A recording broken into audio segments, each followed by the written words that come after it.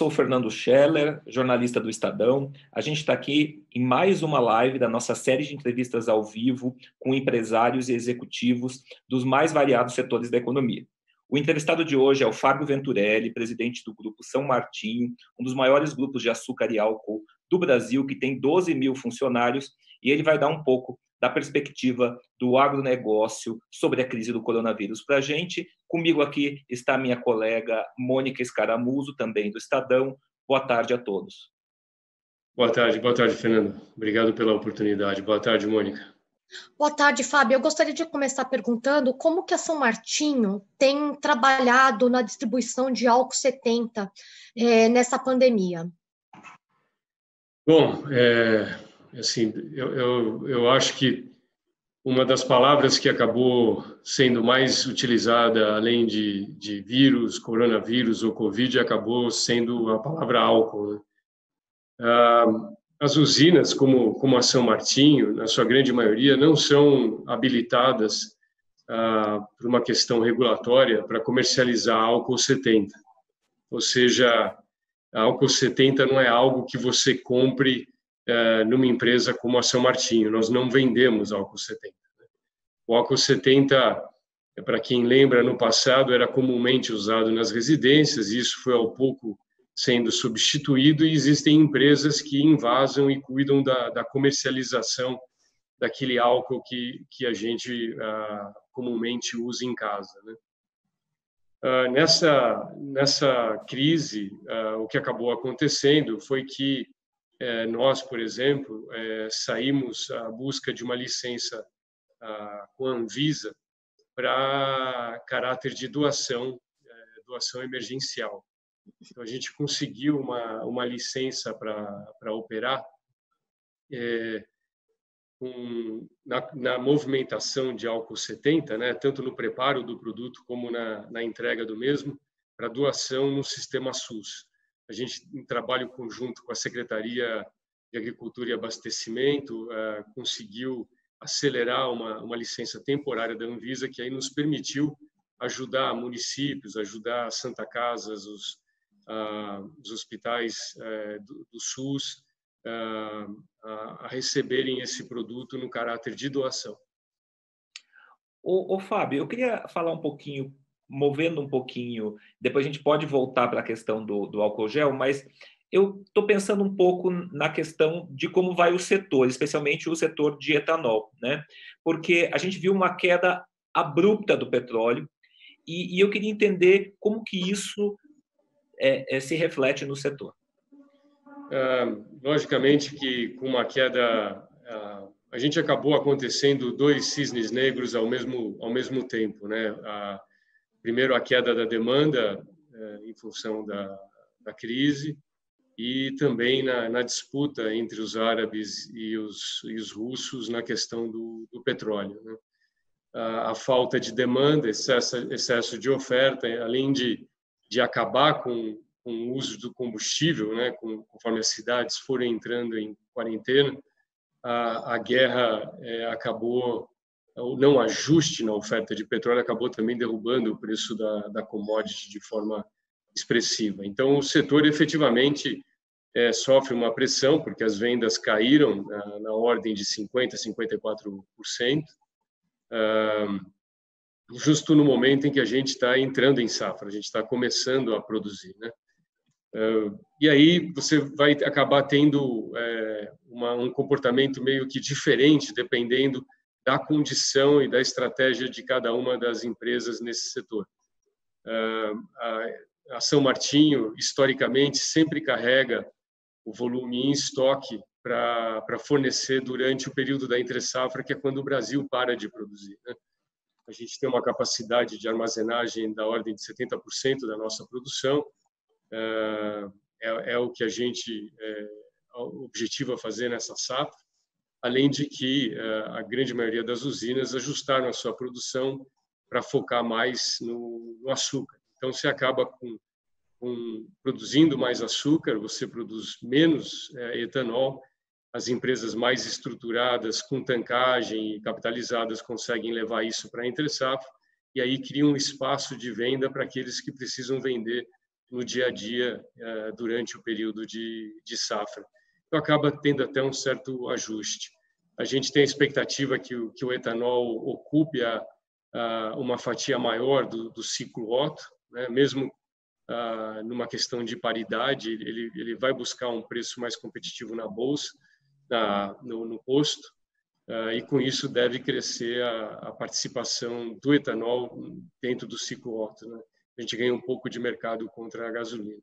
E na retomada, você sempre tem aí uma, uma corrida, a vida voltar normal, então a gente também tem uma expectativa de uma, de uma puxada no momento dessa retomada. Como que você vê a retomada? É, é, você acredita que, é, passado aí o período de confinamento aqui no, no estado de São Paulo, é, o consumo de etanol volte ao, ao, normal? Então, hoje, hoje se tem então uma abundância de etanol no mercado, né?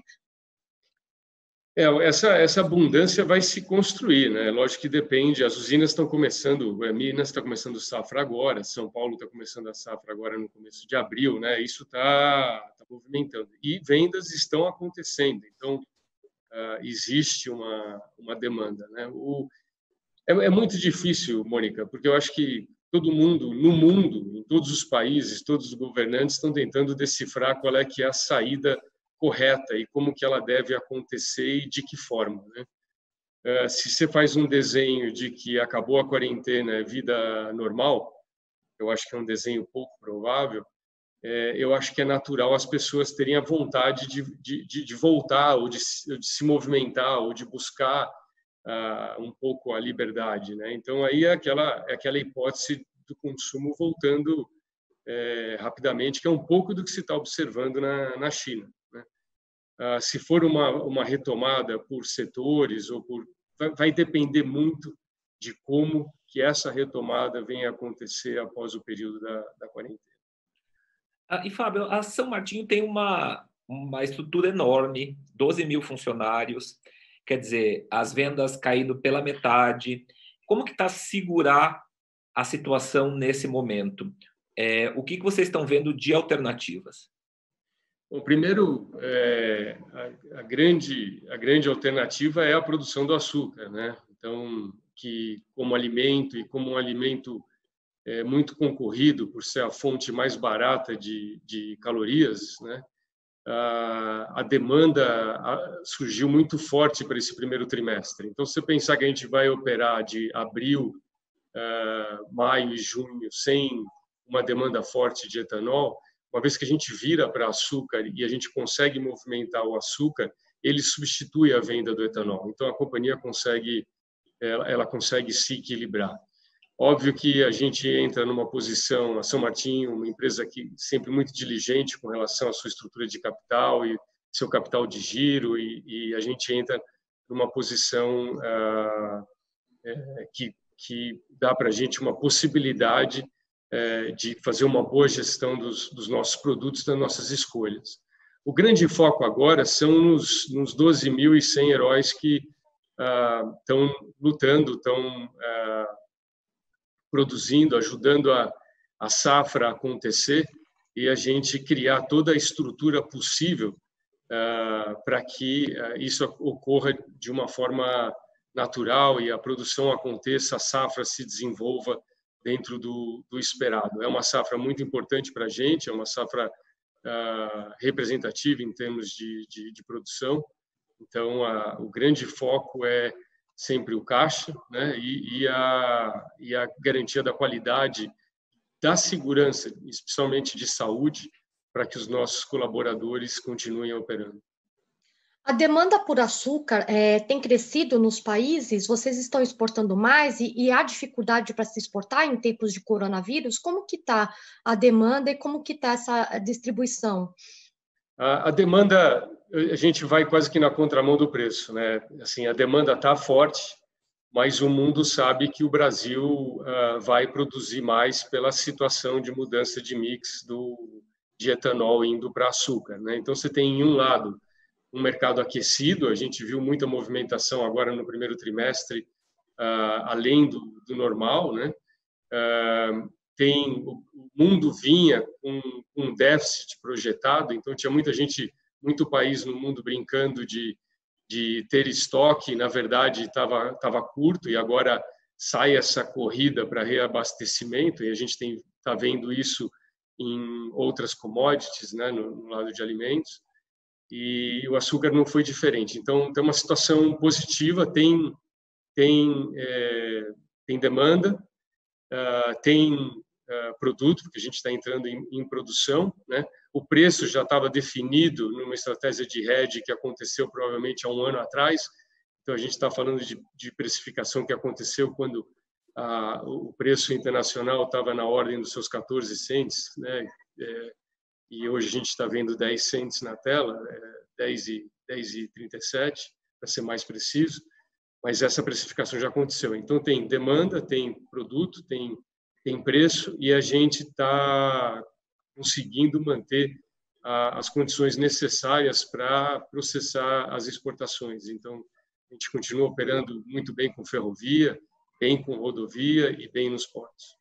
E quando você olha o, o, o, agronegócio de uma maneira geral, você acha que é um setor mais ou menos protegido da crise que sai, que a gente vê setores que estão completamente parados, a gente vê é, até um desespero aí é, de alguns setores querendo que volte, mas que acabe o isolamento. Eu queria entender é, se você puder fazer uma pequena análise do agronegócio como um todo, de maneira geral, é uma situação um pouco mais confortável?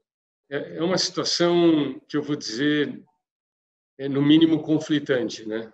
Porque se você falar que ela é a mais confortável, na verdade ela é a mais exposta, porque são os, os colaboradores, né? É, nós do, do agronegócio que de uma certa forma estamos dando a condição ah, de contorno, né? Para que a alimentação continue, que que a vida é, no, que, no que se diz como básico, ela, ele continue sem interrupção. Né?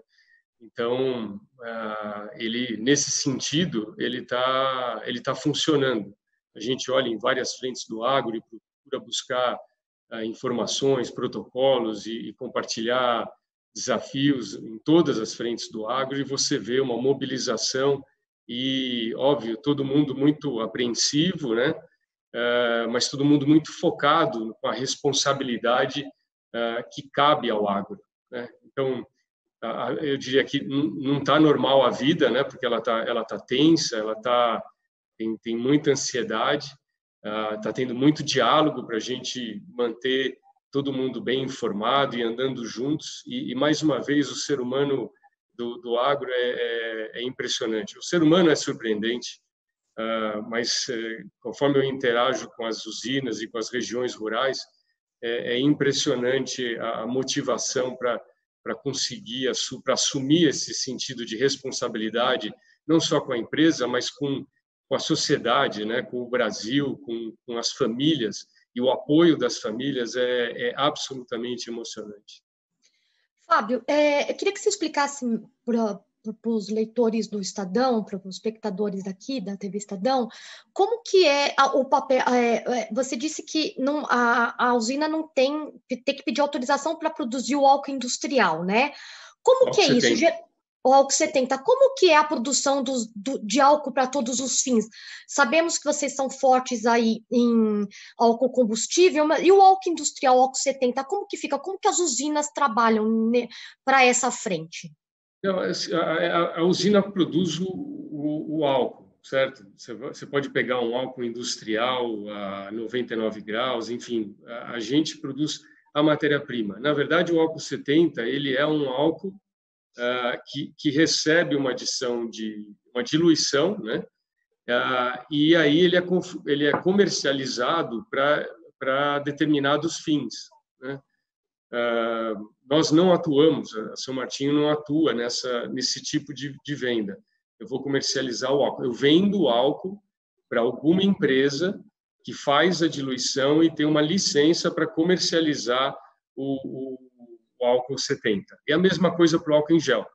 Uh, a gente nunca, na história, havia uh, produzido álcool em gel. Quando começou essa crise, uh, a gente buscou uma, uma autorização é, provisória da, da Anvisa para produzir e ajudar nesse esforço de doação. A gente fez em colaboração com, com, com a Natura uma, uma, uma quantidade para distribuir na Fundação Farmácia, da Fundação do Remédio Popular, né?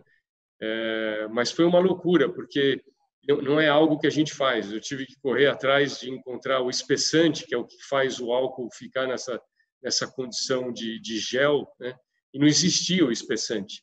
Como eu venho de um passado na indústria química, e mais uma outra pessoa aqui que também veio da indústria química, a gente acabou achando um espessante que é usado para fundir, uh, e esse espessante eu conseguimos gerar a mesma uma formulação alternativa, mas com a mesma característica e, e, e enfim, uh, para servir como álcool gel. Então, tem sido uma, uma, uma correria muito grande. Uh, a gente vê várias empresas mobilizadas aí para isso, né? As empresas que são produtoras, de repente, se defrontaram com uma demanda que é cinco vezes do que eles vendem normalmente. Obviamente que a capacidade deles está tá, no limite. Então, tem fabricante que tem o frasco, mas não tem o espessante. Tem fabricante que tem frasco espessante, mas não tem a tampa do frasco. Então, a cadeia uh, sofreu muito. O único produto que, que obviamente, não falta é, é o, é o álcool. Esse tem. Né? E, e, e, Fábio, falando um pouco de como a gente vem enfrentando essa crise. A gente está aí é, agora na expectativa de que as pessoas comecem a receber, especialmente na Caixa Econômica, a, o auxílio do governo, até para comprar alimentos, que é sempre a primeira necessidade. E também a gente tem a gente também teve outras a, medidas, medidas anunciadas, como o fim do PISPAZEP, é, como o, o, a liberação de FGTS. O que, que você está achando dessas medidas? Como você vem acompanhando essas medidas? Eu acho que o, o assim como ele vem atuando de forma diligente, o Ministério da Agricultura e Abastecimento e a Secretaria de Agricultura e Abastecimento dos estados onde a gente atua, ah, essas as medidas ah, para proteger quem perdeu renda são são fundamentais, né? Eu acho que isso é é, é, é o básico, elas têm que acontecer, né? e, e também tantas outras que é, estão tratando dos diversos setores que estão sendo bastante impactados. Né? Ah, no nosso caso, também, a gente acredita em medidas que virão, porque é, não é fácil. Às vezes você pode ter um, um fornecedor numa condição ah, complicada, você pode ter um cliente que está numa situação complicada e a gente tem que intensificar ah, o diálogo com eles, né? mas é, sempre alguma colaboração em tributos, enfim, de alguma coisa que que aumente a liquidez é, nos setores para garantir que a economia continue girando vai ser importante. Então essa, essas medidas, obviamente, que elas serão necessárias desde a, desde do, do, do, CPF até o até o CNPJ. Como que você, é, você tem acompanhado o governo, há, um descasamento aí de discursos entre o governo federal e os govern, parte dos governadores. Como que se deve dar o confinamento? Como que você tem visto isso? Uh, eu vou... Essa, essa, essa é uma pergunta muito difícil. É, eu vou te dar a seguinte resposta. A gente não, não, não entrou em confinamento, a gente está tá operando 24 horas por dia, e a gente tem que se manter focado nessa responsabilidade. Então, aqui a gente está muito mergulhado, eu, a, a, diretoria, toda a gerência. É, a gente tem algumas pessoas é, que eu diria em confinamento, mas na verdade eles são uma reserva técnica. Eles estão trabalhando muito, mas eles estão isolados à medida que a gente eventualmente tem alguma baixa em, tudo, em alguma das posições estratégicas de liderança. Né?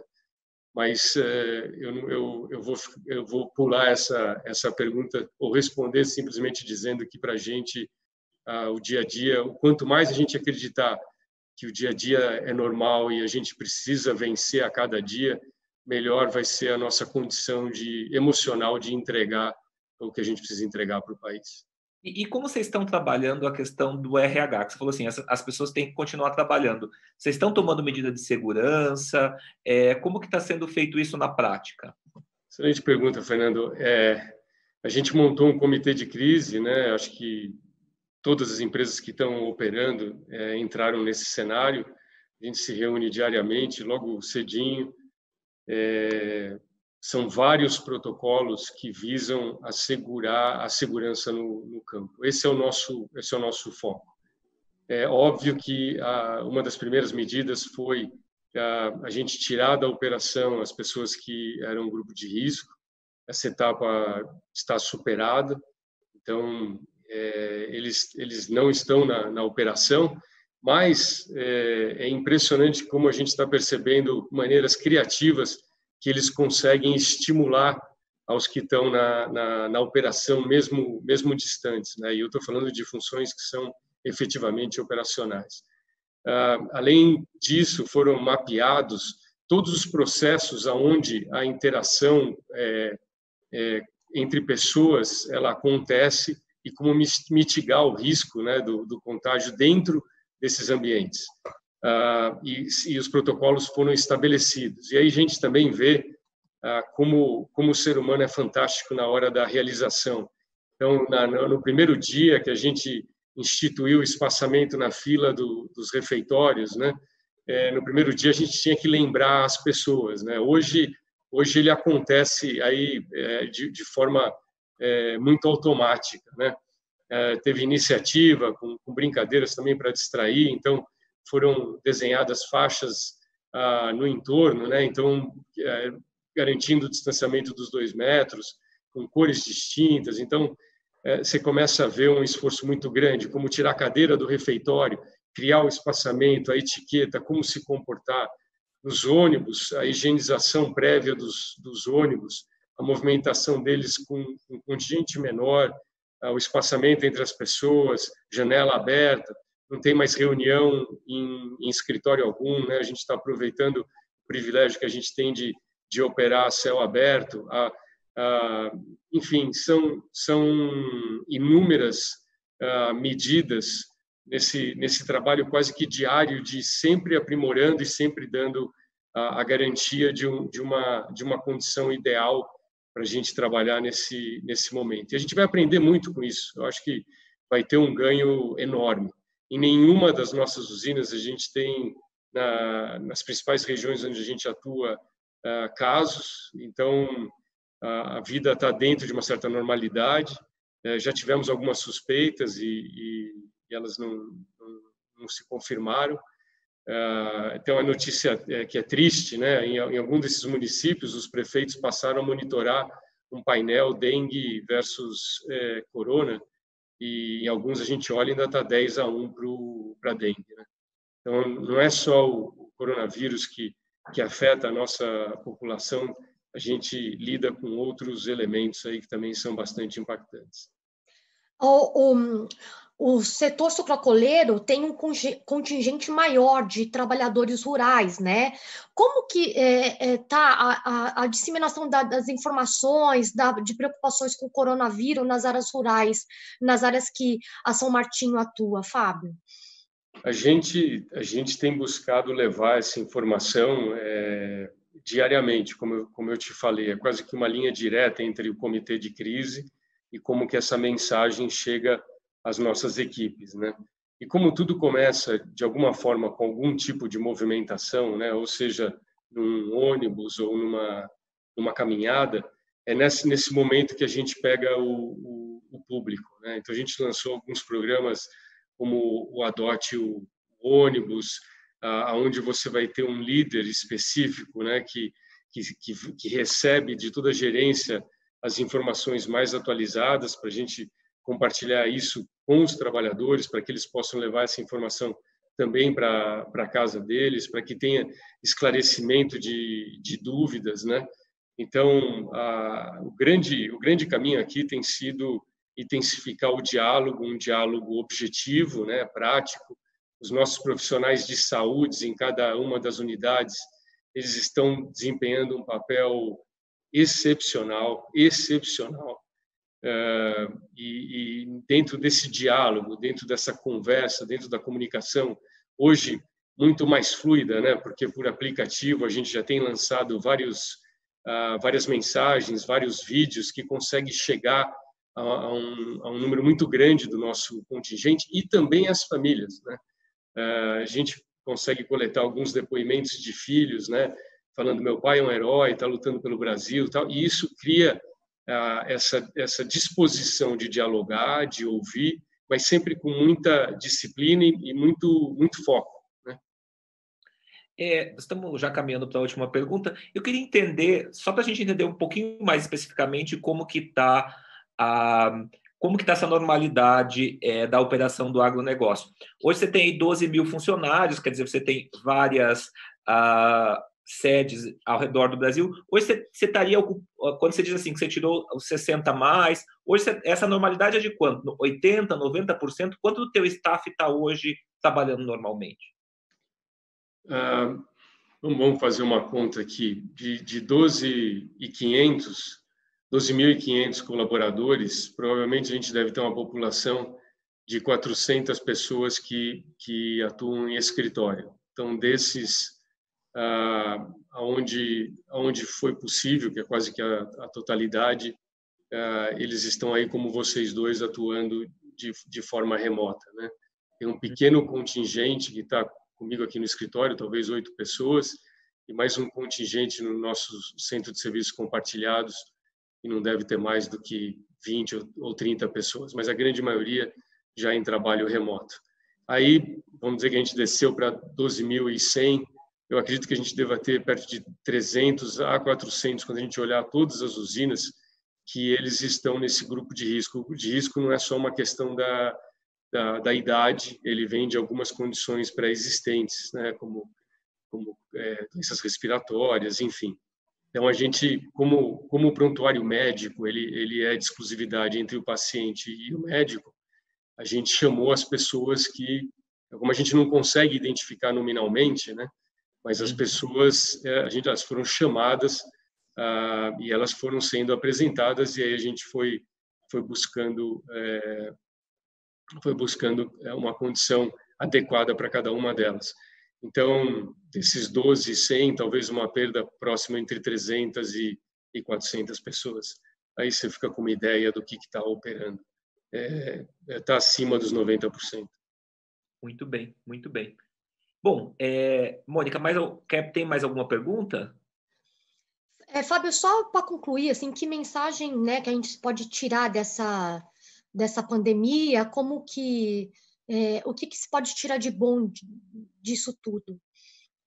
Eu acho que a gente pode tirar do, de bom é, é essa resiliência ah, do, do, do, homem quando ele é chamado, né, do, do, do trabalhador, do colaborador, da, do homem, da mulher, né, quando é chamado a desempenhar o seu papel. Eu acho que isso tem sido uma, uma para mim, um, aprendizado é, excepcional. A resiliência, a, a capacidade de se doar, a mobilização, as pessoas que mesmo paradas, que, que não têm a condição de trabalhar e querem ajudar, aquelas que mesmo de longe estão ajudando, eu acho que é, uma, é um grande aprendizado. O outro é que a gente sempre tem é, o que aprimorar né, na, na, nossa realidade de vida, onde a gente imagina num, num século 21 tudo indo para o digital, tudo resolvido e um vírus consegue colocar a gente numa um, numa condição tão é, exposta, né?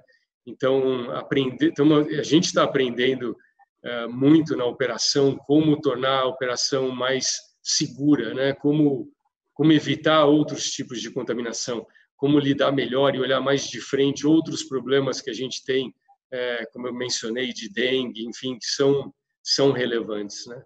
Uh, a outra é que a gente aprender a estar sempre com a guarda alta, porque é, quem podia imaginar. Eu lembro da gente fazendo nossa reunião de, de lançamento de safra, de orçamento, com a perspectiva de resultados. Foi no domingo, onde na noite do domingo o petróleo caiu 30%, né? E, e, e de repente o cenário, como um piscar de olhos, ele, ele vira completamente. Então a gente precisa ter essa responsabilidade de construir companhias que sejam tão resilientes quanto esse, esse grupo excepcional de, de colaboradores resilientes que a gente tem no Brasil. Maravilha. Muito obrigada, Fábio. Obrigado a vocês dois. Parabéns Fábio, pela iniciativa. Aí. E até a próxima live aqui do Estadão com empresários e executivos. Boa tarde. Boa tarde.